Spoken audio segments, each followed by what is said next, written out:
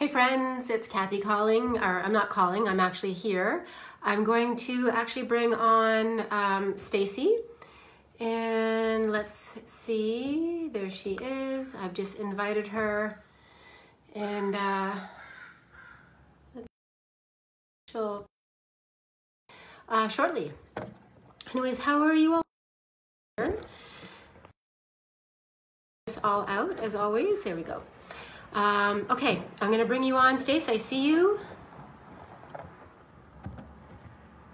All right. Okay, so Stacie is coming on. Uh, and we're going to get started talking about, oh, here we are. She's adding, there we go. Hey, Stace. Hi. How's hey. it going? How am I going to do this? There we go. Hi. Good. Hey. You're looking so active. Well, I'm training, right? I I, I coach during the day. Oh, okay. I have virtual clients, so always got to be active, and I work out myself sometimes too, right? So. um. Okay. Wait. Before we officially get started, do you have your thing that you posted about yesterday beside you in the box? I, yeah, I... Do you have it close by?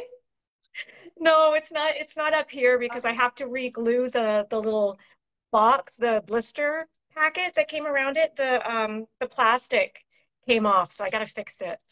Oh my gosh! Um, for for, for uh, any of you who do not know what I'm talking about, go check out uh, Stacie's. Um, it was on your Facebook uh, page, right? Yeah. Okay. Uh, sorry, my I think it was a Facebook and Instagram. Yeah, yeah, it's pretty awesome. This is like a once in a lifetime. Not everyone gets a doll made out of made in their impression. So that's pretty awesome. Yeah, it's a little it's a Caitlin Ryan action figure that uh, a client of mine he made it. He took another action figure and he somehow customized it to wear the exact same outfit that Caitlin wore in a specific episode, and he he put the the little thing on the back. It was awesome. That anyway. is really cool. Okay, I know we only have ten minutes. Excuse me. Um, so let's chat. Uh, hey, Joe, nice to see you. And hey, Anna, how are you both doing? Today, we thought we'd talk a little bit about um, weight gain during the menopausal transition or midlife. Um, and there is some discussion and uh, debate as to whether this is actually a cause of weight gain, if it's our hormones or not. So, anyways, we'll just chit chat about it. Um, Stace, since you work in you know your coaching for strength training and i know this is a really important part of this transition for many of us. Can you tell us a little bit about that from your perspective? Yes. Okay so and i want to i want to specify i think specifically we're targeting um, belly fat gain okay? Not just i mean weight gain in general sure that's it's going to happen as we get older. Um, perimenopause menopause postmenopause can exasperate it, can can make it harder to keep the weight off, not necessarily for everybody. The reason being is again because of the hormone imbalances that happen as we go through these these periods. Um, so estrogen predominantly it, it goes up and down during perimenopause. It can fluctuate and that can throw kind of everything out of balance. Now, if estrogen's really low, there is a tendency for uh, fat storage to occur. And that is our body's way of protecting our bones, uh, you know, for protecting bone density, because we start losing that as we get older. So that's a natural thing.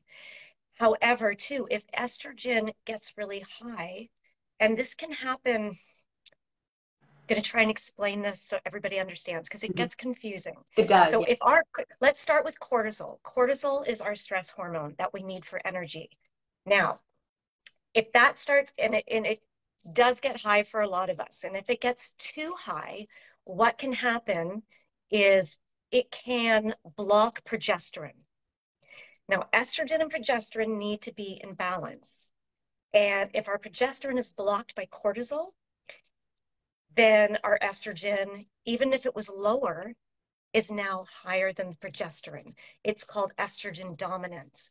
And when that happens, cortisol can team up with insulin, which regulates our blood sugar, and it can add belly fat. so that was a long way of explaining what can happen. So again, we've got low estrogen, high estrogen, high cortisol. And the only reason this is a concern, it's first of all, I have clients that start feeling like they have to start working out more.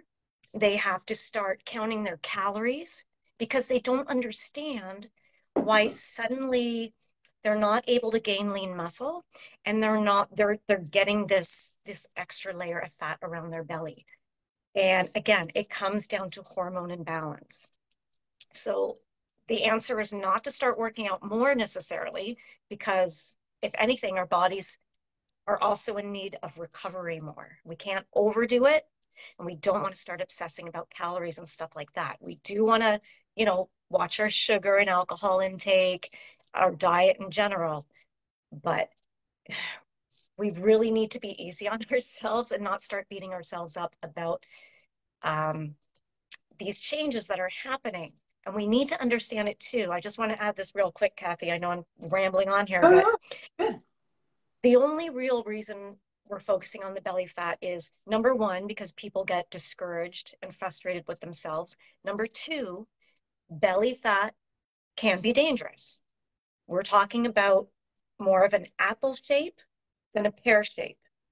So when you're getting extra fat around your belly, it tends to be a more dangerous type of fat. It's called visceral fat. And that is the fat that you can be skinny and have visceral fat. You know that expression, skinny fat? Yeah. The visceral fat is the fat that is in our abdomen. It's deep within our abdomen. It's not the subcutaneous fat that you can pinch. It's deep within our abdomen and it starts suffocating our organs and making them work harder. So that is the real issue. It can lead to diabetes too. It can lead to Alta. It can lead to all kinds of health issues. But this is the main concern.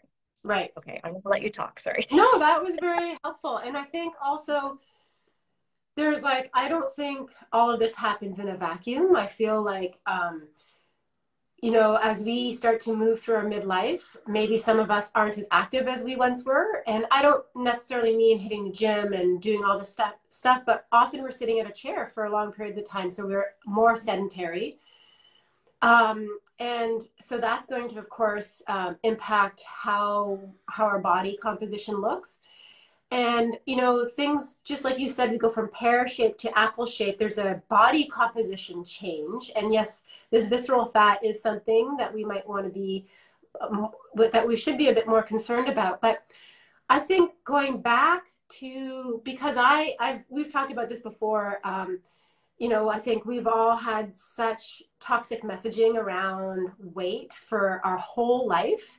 Um, and perhaps it's going back to feeling into what it is that we really feel we need to, how we need to be nourished. And so when we're like craving sugar, why are we craving sugar? I think those kinds of questions are actually really insightful because often people crave sugar when we're really stressed or feeling we need some comfort. And understanding that can be the first part in kind of changing around our habits uh, sure. around food and our relationship around food.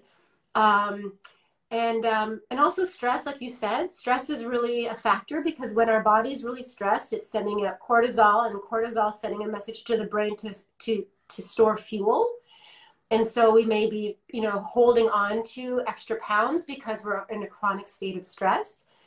Uh, and then having good sleep. So you know we every every time we talk it comes back to stress and stress just exacerbates every single physiological symptom in our body.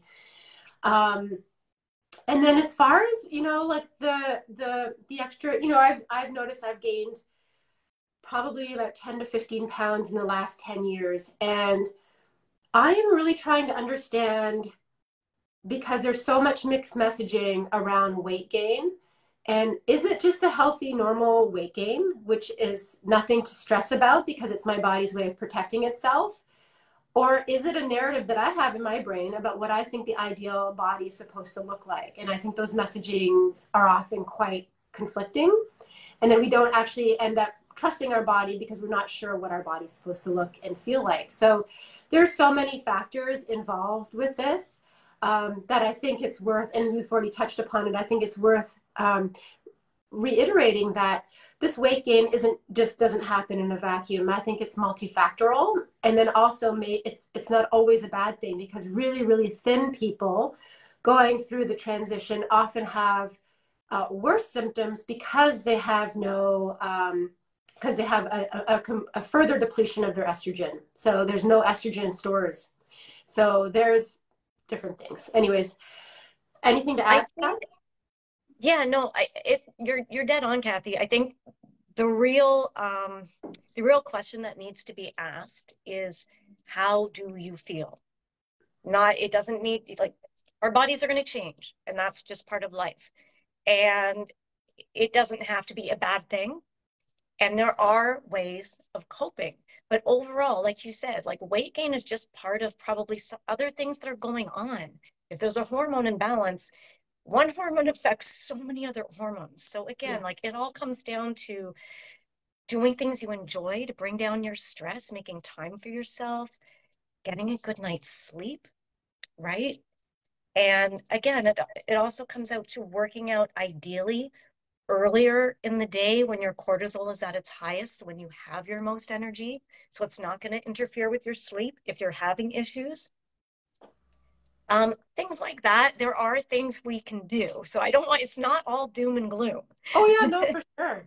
I think for many of us, this is like a really, I mentioned this before, I feel like this phase of my life is a super exciting and super empowering time as we step into what we, we say in East Asian medicine is our second spring. And this is a whole, a whole chance to reevaluate and rediscover who we are and what we want to feel like in our life in the second part of our life, which I think is really uh, an amazing and empowering and um, exciting time. Um, I was going to mention something, and now I have. Oh, and just finding more pleasure, like pleasure in life. I, I think we need to put an emphasis on how we feel over how we look. I mean, how we're feeling, I think, is really important, just like you said. So, no, exactly, exactly, and be just being healthy is not about how you look, right? It is about how our body is functioning. Yeah. And if a body's working harder than it needs to, that's going to put stress on everything else. So we just we want to make sure we're taking care of ourselves. Yeah. What time is it? Are we done the tea time?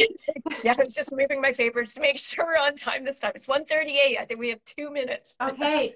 I see a couple of you. Brian says he's got he has a strong cup of coffee in the morning. That's his answer. Um, Uh, anyone else have any questions? Any thoughts about what we should talk about next week? Steve, I can't. Do you have any thoughts about what you'd like to talk about next week? Oh, me? Uh, me? Uh, oh, there's so many things, Cathy.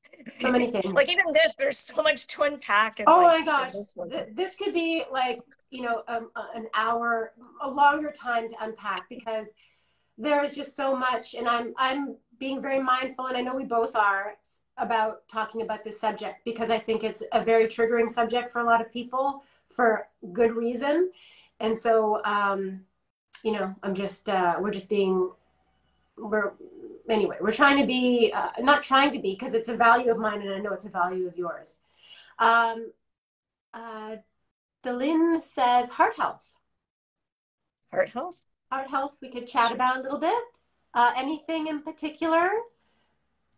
That would be good. Yeah, there is so much to talk about. I would like to talk about at some point um, just the power of perimenopause because you know it's it's not all I, I really want to avoid the medicalization of it and making it mm. seem like it's um uh, it's a whole bunch of syndromes that are meant to be um, medicalized and at some point you sure. know, some people it needs to be for their quality of life but I think uh, our whole mindset around it needs to change, and our whole our whole narrative around it needs to change. Um, yeah, yeah, absolutely. Okay, let's do that. Let's do like a, a positive, uh, the power of peri, the power yeah. of perimenopause. Actually, I'm doing a workshop on the power of perimenopause, uh, like a, a, live workshop. Finally, actually, with like living people in the same space.